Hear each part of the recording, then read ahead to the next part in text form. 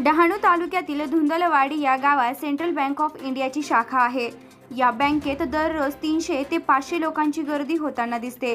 परंतु बँकेचे कर्मचारी यांचा भोंगळ कारभार पाहावास मिळत आहे असे गावकरी बोलत होते. ग्रामपंचायतीने व स्थानिक पोलीस स्टेशनच्या अंतर्गत सोशल डिस्टन्सिंगचे नियम दिले असून सुद्धा पालघर जिल्ह्यातील ग्रामीण बँका नियमित नियम पाळत नाहीत. त्यामध्येही धुंदलवाडी सेंट्रल बँक ह्यामुळे इथली आदिवासी समाजातील जनतेची नामुष्की होताना दिसत आहे. बँकेतली पाचशे ते हजार रुपये काढण्यासाठी वयोवृद्ध ज्येष्ठ नागरिक बँकेच्या समोर सकाळी सात ते आठ वाजेपासून थांबलेले असताना दिसतात. असे गावातील जागरूक नागरिक बोलत आहेत. प्रतिनिधी माधव तल्ला महाराष्ट्र न्यूज टेन पालघर.